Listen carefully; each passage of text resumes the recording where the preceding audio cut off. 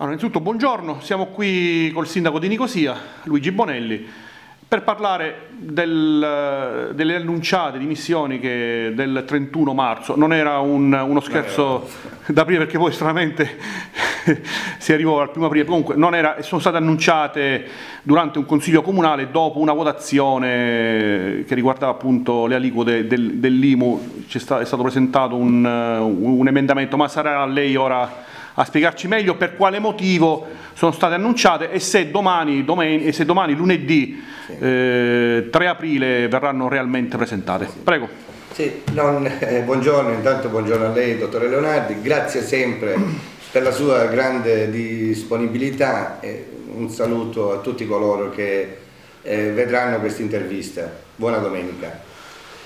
Vabbè, non, non, si è trattato di una bufala, anche se si sono sovrapposte le date, il Consiglio è stato, si è celebrato il 31 e quindi poi la, la sua notizia è arrivata il primo di aprile e molta gente eh, non, non, riusciva a capire. Eh, perché le ho preannunziate, eh, però dicendo eventualmente che lunedì avrei preso una decisione. Perché purtroppo mh, in Consiglio Comunale mi è accaduto un fatto che mai prima, durante la mia amministrazione, si era verificato, e cioè che qualche consigliere, disattendendo quella che era la linea della maggioranza, ma devo dire in maniera ingenua, aveva proposto un emendamento. Questo emendamento avrebbe però fatto saltare tutta la preparazione del bilancio e soprattutto, se fosse stato votato, avrebbe fatto saltare quelle che sono le risposte in termini di servizi da parte della città. Se noi avessimo abbassato l'aliquota IMU anche dell'1 per 1000, sarebbe mancato il gettito per poter finanziare da parte dell'amministrazione servizi fondamentali, quale quello della mensa, i trasporti eh, per, per, gli alunni eh, e, tanti, e tante altre cose che da quando c'è la nostra amministrazione noi stiamo assicurando. Io voglio ricordare che mm, eh, non appena noi siamo stati, mm, ci siamo mm, in, eh, dire, insediati, eh, abbiamo trovato una città in ginocchio, non c'erano loculi per seppellire i morti, eh, le strade erano una gruviera, non c'era la mensa per gli alunni, per cui i genitori dovevano provvedere privatamente, non c'era il trasporto degli alunni, ecco, noi tutti questi servizi li abbiamo assicurati, ma ovviamente li possiamo assicurare se eh, un minimo di impegno da parte di tutta la città a pagare i tributi c'è, altrimenti io dovrei riscaldare la sedia e basta. Questa spaccatura, la chiamavano così, all'interno della maggioranza è rientrata? Avete chiarito sì, con, con, i consiglieri? Sì, sì. Le dicevo prima, ehm, io mi ricordo di precedenti consigli comunali con altre amministrazioni, con l'amministrazione Malfitano, con l'amministrazione Catania, Financo, che in consiglio comunale ogni sera era una battaglia a cercare di convincere consiglieri comunali che votassero per la maggioranza. Con noi questo non si era mai verificato, anche perché eh, sin dall'inizio c'è stata un'armonia, una grande unità di intenti attorno al sindaco, all'amministrazione e, come dire, un'armonia fra gli stessi consiglieri comunali.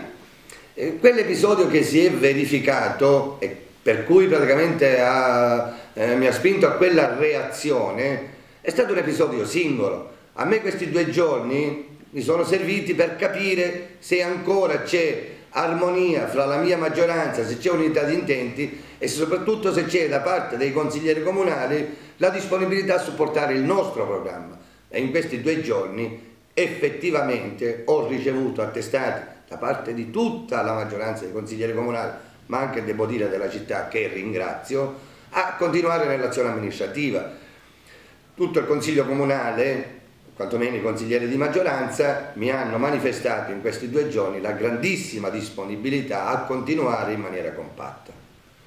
Ma io penso che questa, la compattezza, non serve a me per goderne e per manifestarla all'esterno, per dire ho una maggioranza compatta, serve alla città perché le sfide prossime e future, a cominciare dalla lotta per l'ospedale, o a cominciare per eh, le battaglie per la nord-sud, che, eh, che sono in movimento, necessitano per forza non solo di una maggioranza consiliare compatta, ma di una città compatta, non ci possono essere sbavature. Le prossime sfide debbono vedere tutta Nicosia unita rispetto a battaglie che sono forti e che segneranno il confine fra un prima e un dopo, fra una Nicosia che era stata marginalizzata e la speranza di una Nicosia che diventa nuovamente centrale.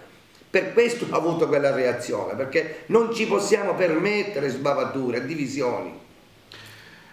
La situazione di ieri sera si è accavallata con eh, la notizia dell'ospedale, con la presentazione ufficiale della nuova rete ospedaliera che verrà appunto presentata al Ministero della, della Salute e nel quale si è rilevato che l'ospedale di Nicosia è stato depotenziato in alcuni reparti, alcuni anche con posti letto in meno, come del resto anche gli ospedali di Leonforte e di Piazza Armerina. A contrariamente invece l'ospedale di Vienna è stato uh, invece potenziato sì. rispetto alla struttura iniziale. E qualcuno aveva pensato che queste dimissioni fossero legate anche alla situazione ospedale. Che cosa ci dice in merito a questa situazione sì. che, si è, che si è venuta a creare? Anche, anche per quello, perché come dire, mi, mi sono sentito tradito nella mia figura istituzionale, ma non solo io mi sono sentito tradito, si sono tra sentiti traditi anche tutti gli altri sindaci del territorio che stanno facendo una battaglia comune assieme a noi per il, per il mantenimento dei servizi che il nostro ospedale ha. Un tradimento che coinvolge anche dire, settori larghi della, della, città, a cominciare dal comitato pro ospedale. Eh, ecco, le istituzioni, l'assessore alla sanità assieme alla Commissione alla Sanità. Ci aveva promesso che quasi tutti i servizi Nicosia li avrebbe mantenuti.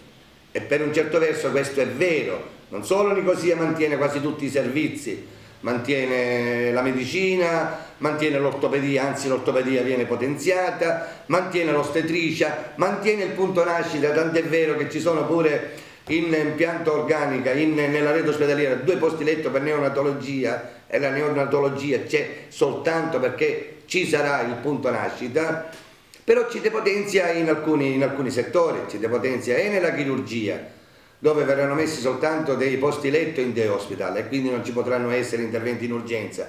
E poi la cardiologia. La cardiologia come reparto salta, anche se noi abbiamo ricevuto assicurazioni per cui la cardiologia sarebbe trasferita nei posti letto di medicina, quantomeno in una parte dei posti letto di medicina.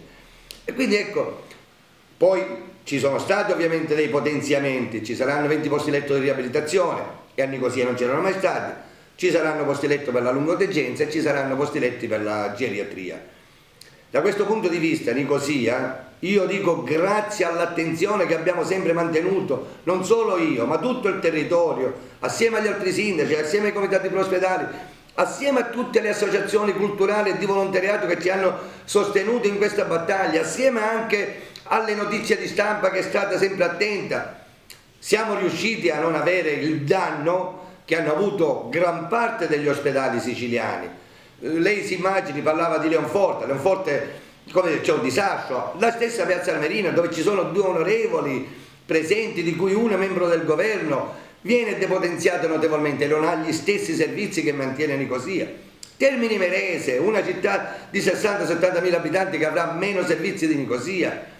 Licata, che d'estate conta più di 200 mila abitanti, viene depotenziata completamente. Quindi noi da questo punto di vista siamo stati, fra virgolette, fortunati, ma ovviamente non ci basta questo. Ovviamente per noi la chirurgia, la cardiologia sono servizi importanti perché abitiamo in una zona a rischio di pericolo, di, per, perché non è facile accedere, non è facile uscire. E quindi questa battaglia la stiamo continuando ancora. Io ero profondamente amareggiato.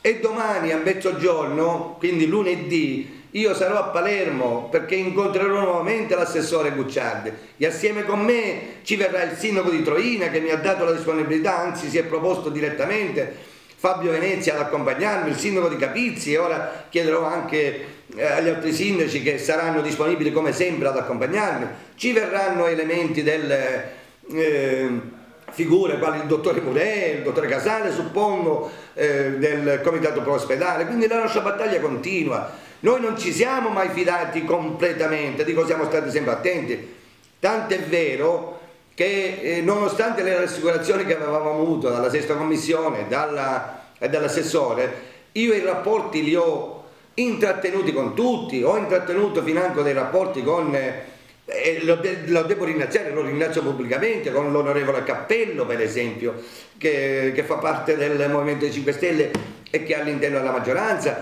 con eh, l'onorevole che ringrazio anche qui, con l'onorevole il sindaco di, di, di Torrenova, eh, Bernadetta Grasso, dico in continuazione con lo stesso presidente della commissione. Voglio dire l'attenzione non è mai eh, caduta eh, siamo stati sempre attenti, vigili e lo saremo tuttora. E se quello che, che ci risponderà l'assessore non ci convincerà, siamo pronti a continuare la battaglia, financo ad atti, ad atti estremi. In un quadro, voglio dire, comunque problematico per tutta la sanità, non solo siciliana ma italiana in un quadro in cui tutti gli ospedali sono depotenziati, declassati, qualcuno addirittura pericolo di chiusura e Nicosia tutto sommato, tutto sommato regge e regge alla grande. Ma questo non ci basta. Quindi è scongiurato il pericolo domani delle, delle eventuali dimissioni che aveva preannunciato? Sì, sì, sì. sì.